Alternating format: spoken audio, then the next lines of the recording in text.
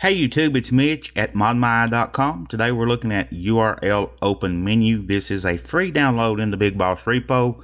And what URL Open Menu does is it adds the open option in your little pop-up when you when you like uh, highlight text and stuff like that.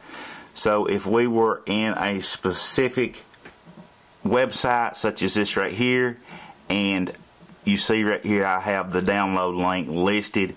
Okay if we highlight this text like so you see we have the URL in there. Now we have the little open added in there.